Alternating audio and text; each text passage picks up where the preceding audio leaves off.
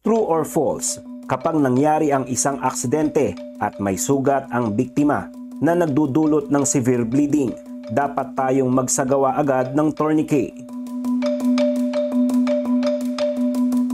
False.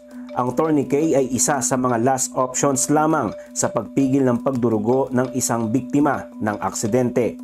Dapat unahin ang pag-apply ng direct pressure, elevation of the wound at paglalagay ng dressing sa sugat at pressure bandage.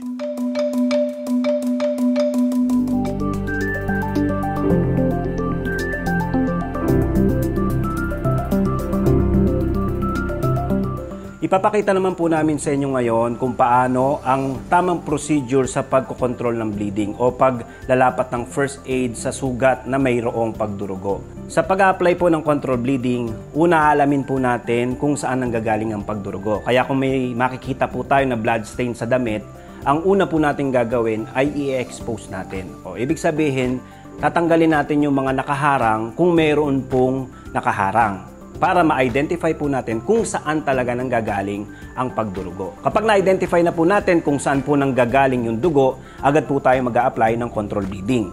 So, magbibigay po tayo ng dressing at ilalagay natin sa ibabaw ng sugat ng uh, pasyente at magbibigay po tayo ng direct pressure.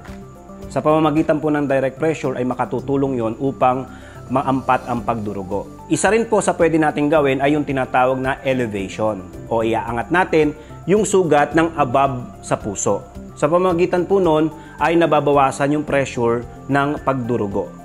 Ang kasunod po nating pwedeng gawin ay magbibigay na po tayo ng tinatawag na pressure bandage or gagamit na po tayo ng materyales para i-hold yung dressing na inilagay natin sa ibabaw ng sugat.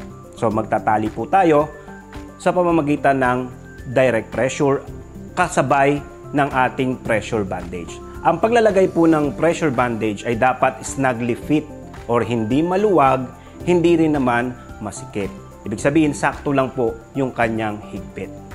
Pagkatapos po nating mag-apply ng direct pressure, pressure bandage at kasama na rin po yung elevation, iti-check po natin ngayon kung nararamdaman ba ng pasyente yung ating gagawing paghipo or na igagalaw ba ng pasyente yung kanyang kamay.